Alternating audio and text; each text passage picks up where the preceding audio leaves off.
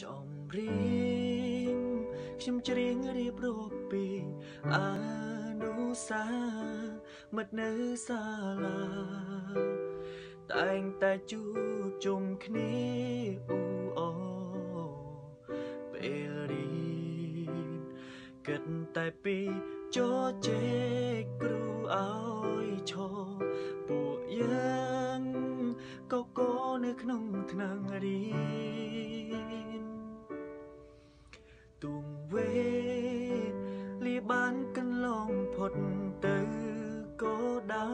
យបើអាចបងក្រោយចង់ឲ្យពេលនោះត្រឡប់វិញមានទាំងសប្បាយសើចក្អាក្អាយទុកតោម្នឹងពេលនេះនឹកមិត្តសំឡាញ់ វិញជាឡៃខ្ញុំអើយខ្ញុំបែកអ្នកហើយពេលនេះនឹងលោកគ្រូនាងគ្រូទាំងប្រុងស្រីសូមគុំបំភ្លេងអនុសា ដែលពោពេញដោយអត្តន័យដែលជាសង្ខ័យនៃមិត្តភាព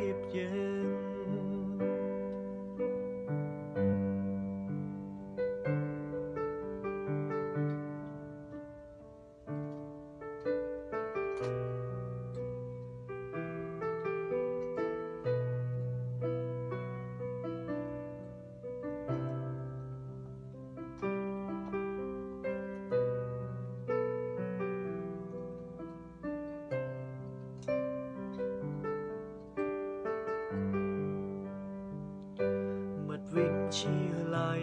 ខ្ញុំអើយខ្ញុំបែកអ្នកហើយពេលនេះដឹងលោកគ្រូនាងគ្រូទាំងប្រុងស្រី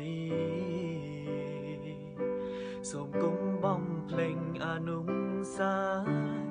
ដែលពោពេញដោយអត្តន័យដែលជា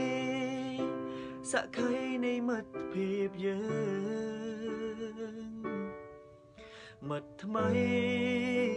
ហាក់បីមិនដូចមិត្តចឹងភាពស្និទ្ធស្នាលខំស្រឡាំងមិនដូចមិត្តចាំខ្ញុំឡើយមិត្តល្អមិនងាយរកបានសូមគុំបោះបង់ឡើយមិត្តវិញ